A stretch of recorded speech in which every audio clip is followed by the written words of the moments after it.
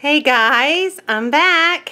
So I thought I'd clue you in real quick on where I've been. We have our new addition to our family. My little grandson, Theodore, was born. So I'm going to show you him in just one minute. But we have been very busy just trying to get the nursery together and get everything set up for my daughter and this beautiful baby boy. So I'm very happy to be back. I've missed everybody so much. And I'm going to introduce you guys now to Theo.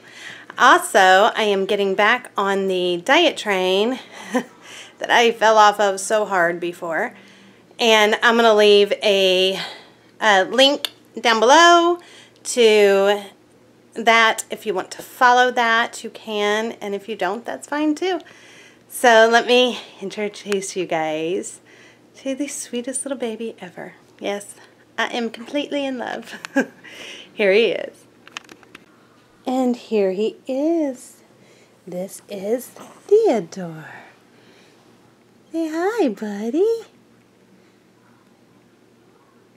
Say, I'm Grandma's boy. Say hi. Oh, bless the baby. This is what I have been so busy with. My daughter did a beautiful job. He is absolutely perfect. So we thought we would pop on and let you get an introduction and say bye-bye.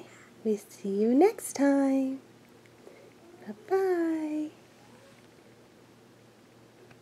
Okay, thank you guys so much for watching, and I hope you liked meeting my favorite little guy. And I will see you guys next time. Don't forget to give a big thumbs up and subscribe if you haven't already.